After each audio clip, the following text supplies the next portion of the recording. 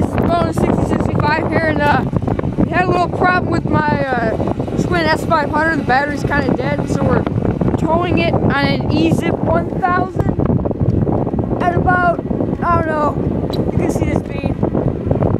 And, yes, we're about two miles away from my house. I'm going to give you a shot of the spring.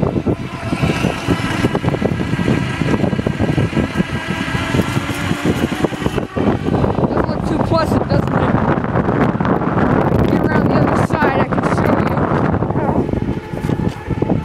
See? Twin, it's 500.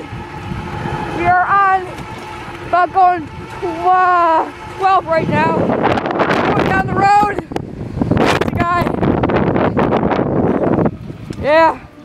People think that we garbage pick this Bob. thing. Ow! People always think that we garbage pick every time this thing dies. Got a scanner. Yeah, it's not too good. We gotta buy a battery for it. Anyway, that's about it.